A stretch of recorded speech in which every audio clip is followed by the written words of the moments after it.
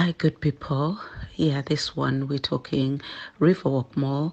One of it was the first one, the first modern mall in Gaborone. I think it was between 1994 and 95. That's when it was built. Uh, it had a cinema and it had all modern amenities.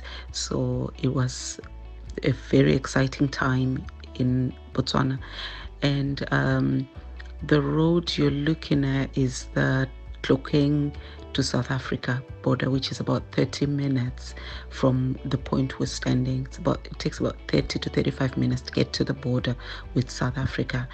And on the left side is the flats. This whole area is called village. Um, beyond the bridge, just uh, is on your way to South Africa, you get into Tlokweng first. Uh, Tlokweng is a village um, in the outskirts of Gaborone, which uh, belongs to the tribe called Batlokwa. Um, I've lived in Tlokweng for quite a long time and I saw Riverwalk Mall being built. It was the most exciting time. And on the other side, you know, when you're coming from Tlokweng, you head into Gaborone. So the first uh, feel of Gaborone will be Riverwalk or village because this whole area, the houses on the left and Riverwalk on the right, as you're heading to South Africa. Beautiful, beautiful place. I still love me some Riverwalk.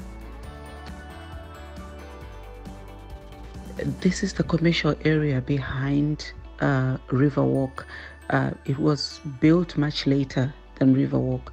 Oh, what I forgot to tell you the first uh, big, massive shop that was there was Game before Game City was built. We had Game behind Riverwalk. It came after Riverwalk had been built.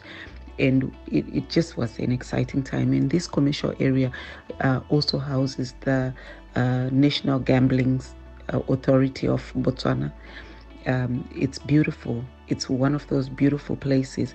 It kind of like has a, um, you know, like sit, a main mall, you know, the CBD area kind of has that feel, but it's even more beautiful because it's serene. You don't have too much traffic like you have in the CBD. So it's a beautiful place to have offices and all.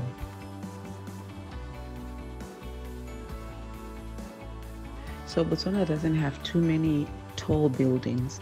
So this is one of those buildings that's considered tall. Uh, it's the BDC, I think it's called BDC building.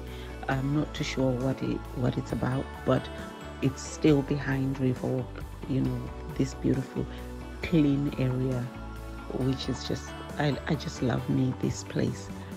If I ever have like offices or anything, I would literally get those offices in this area behind Riverwalk.